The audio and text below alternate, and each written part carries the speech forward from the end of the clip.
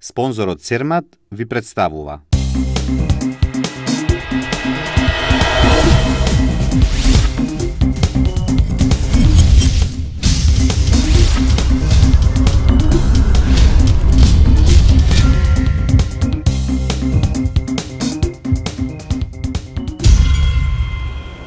Македонско-хрватска соработка на концертот на фолклорниот ансамбл Плетенка и фолклорното друштво од Лудбрек, Хрватска.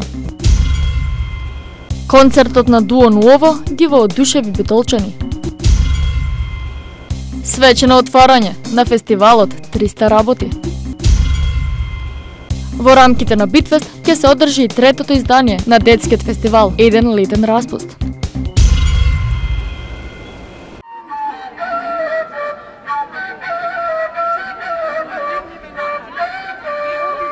На плаштадот Магнолија се одржа концерт на Куд Плетенка од Битола и Куд Анка Ошпух од Лудбрек, Хрватска. Концертот беше во рамките на Битфест, а организиран благодарение на добрата соработка на фолклорниот ансамбл Плетенка, Македонско-хрватското друштво и Хрватски културен центар Марко Марулич и Обштина Битола. Македонско-хрватско друштво и Хрватски културни центар ступија у контакт со културно-уметничко Македонско-хрватско друштво и Хрватски културен центар Марко Марулич стапи во контакт со фолклорното друштво од Лудбрг, поточно со нивната представничка Катица и ја договоривме турнејата во Македонија, благодарение на добрата соработка со фолклорниот ансамбл Плетенка, но и општина Битола. Договоривме концерти и со Прилеп, Новаци и Тополчани. Во сите овие места, освен хрватските гости, на концертот присуствува и фолклорните друштва, домакините одноваци Прилеп, Тополчани. Со гостите дојде и нивниот градоначалник, но и пратени господинот Билич, кој за време на гостувањето во Македонија се сретна со градоначалниците на Новаци и Прилеп, каде е договорена понатамошна заедничка соработка. Фолклорните друштва се представија со дел од нивниот богат репертуар на хрватски и македонски песни и ора. Значи вечерашниот концерт е во стоп на Битолско културно лето, Битфест, ко организатори на овој концерт се Асоциацијата за фолклор Плетенка од Битола и Хрватски културен центар Марко Марулич од Битола. Така вечерашниот концерт се надеваме дека битолска публика ќе ќе ужива во вечерашниот концерт, ќе се представиме со дел од од ние домакините со македонски корографи, додека нашите гости од Хрватска, кои што ни доаѓаат од градот Лудбрек, ќе ни се представат со своја програма на своји игри од својот крај. Понатамошната соработка сигурно продолжува во Лудбрек, во Хрватска. Куд Анка Ошпух работи од 1976 година, откако се собрале жените од лудбрешките фабрики и го формирале друштвото. Најпрво профункционирала фолклорната секција, па тамбурашите, пејачката група, а потоа драмската, ритмичката и женската вокална група Пајдашици. Danas naše društvo se i dalje razvija svih ovih 38 godina. Денес нашето друштво и понатаму се развива. Имаме околу стотина членови деца од 3 до 15 години, десетина секции, меѓу кои и пеачка, четири танцувачки, две мали детски фолклорни секции, а се развива и детската тамбурашка секција. Патувањата и дружењето со пријателите ни се доста значајни. Тоа ни е најдобра награда. Во 1996 година јас бев на Балканскиот фестивал во Охрид и воодушевен сум од гостопримливоста на македонците. И овде домакините се потрудија да се чувствуваме како дома.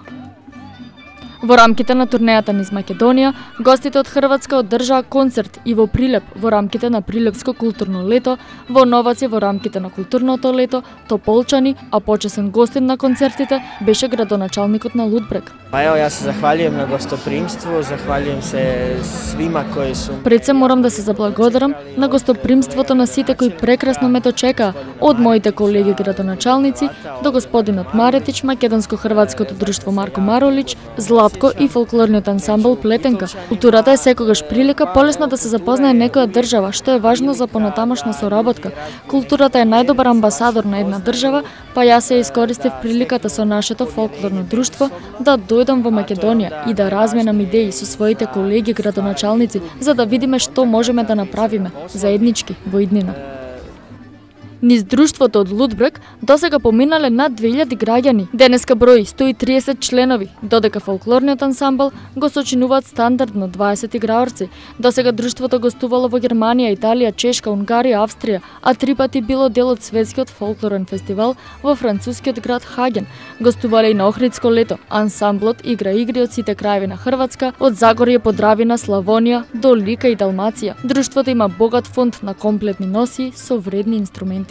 А после концертите на едно од заедничките дружења, гостите од Хрватска пееја неколку македонски песни, а меѓу нив и нашата битола Мој роден крај.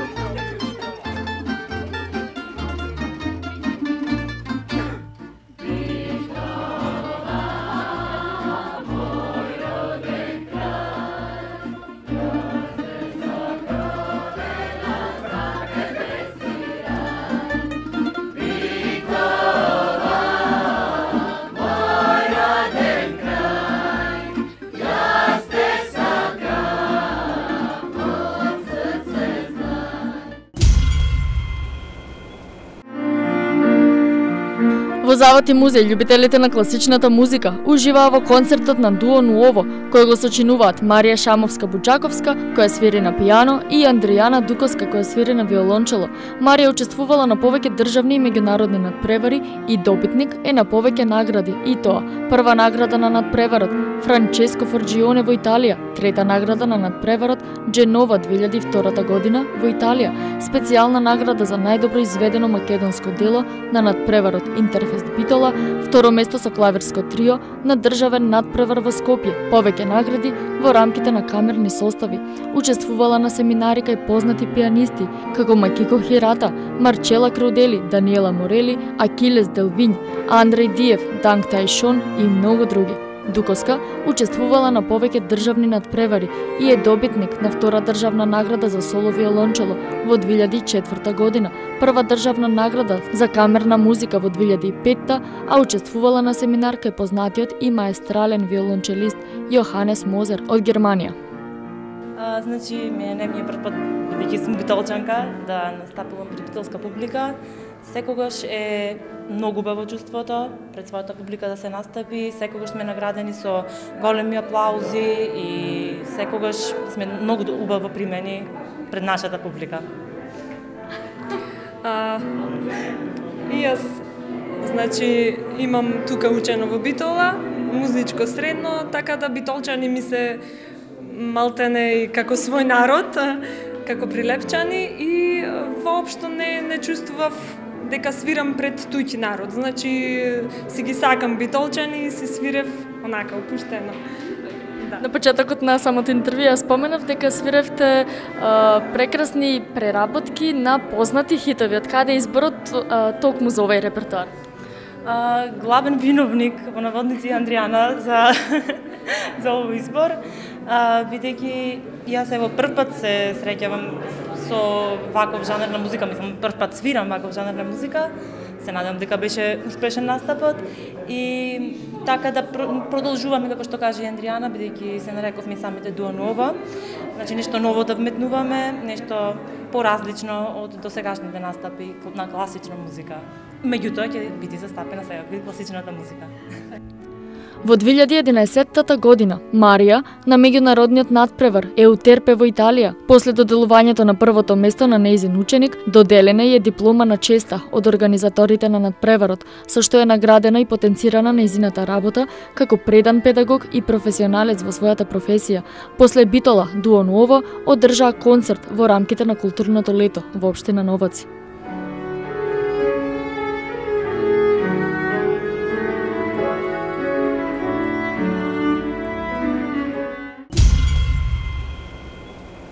Синоќа во кафе бар Радост започна фестивалот 300 работи. Првиот ден беше резервиран за концертната промоција на Свит Рапскалионс, бенд кој постои од 2011 година. И оваа година организаторот најави интересни содржини на фестивалот. На наша голема радост, кречам во кафе Радост овие дена, значи од денес до а, петок ќе се одржува второто издание на фестивалот 300 работи 300 за кое виновници се главни арт колективот Колегиум, и нивните пријатели ширум светот и Македонија. А, денеска ќе биде представена изложба, како што видовте на Бива Кајевич, уметник од Скопје. А, за изложбата најдобро може да кажи самата и незините слики. А понатаму во денешниот ден ќе има промоција на видео таму во ќошот од кафето, има приказ, е, еден дел од Чироксога, се вика видеото, значи нелогички минливо на македонски, иначе програма да го прочете на англиски. Тоа е едно видување пак на колегиум со кое што ние настапивме во Чифте амам а, пред два месеци. И за крај од оваа изложба за заокружување ќе има концертна промоција на, на албумот APM од uh, Sweet Свит Рапскалинус е бенд фузија исто така од уметници од повеќе бендови во како проект денеска ќе го видите, тој функционира тука сегде и никаде, зашто има луѓе кои физички не можат да бидат на еден простор во едно време истовремено. Е сега имаме таа среќа денес да тие сите уметници настапат овде во улица Вуштани со тие неколку песни што му се на епито и да се надаваме дека и во понатаму овај бенд ке ни поручи некои нови убави моменти. Во рамките на отварањето беше промовирана изложбата Труа глас Даркли на Биба Кајевич од Скопје. Делото представува серија на издвоени кадри и фрагменти од филм на Ингрид Бергман.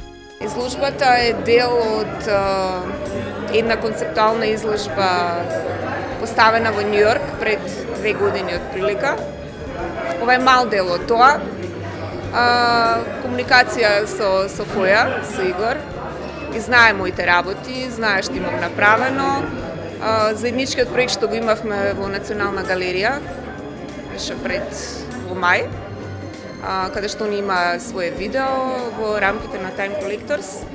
А, му се допадна, значи конкретно во дело за да биде дел од тоа што он го прави во рамките на овој фестивал. Се договоривме, окей, викам нема проблем. Го донесов делото, направивме уште една така, мало дополнување со уште една слика, таа што е поставена на тој зидаму, што е дел од еден друг концепт, меѓутоа ете, некој начин се уклопи во целава работа. На кратко е тоа, инако самото дело е концепирано врз филмот на Бергман. Значи ова се сцени извадени од uh, еден негов познат филм. Uh, True Dar uh, Glass Darkly, uh, 62 година. И uh, се uh, основата е дигитален принт и врз дигиталниот принт е рачно цртано со туче со перце.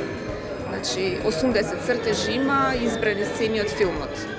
Гостите во кафе бар Радост ја проследија и проекцијата на видеото нелогички минливо, аудиовизуелен приказ на еден аспект на времето. Вечер битолчан имаат можност да присуствуваат на лайф литературниот перформанс, литературно читање пропратено со музика, а потоа следува промоција на колегиумскиот записник, инсталацијата No One Hall на Иван Јанчев Коцка и Димитар Михајловски Джими, како и изложбата Хипербореја на Владо Георевски. Фестивалот ќе се одржува до 22 август.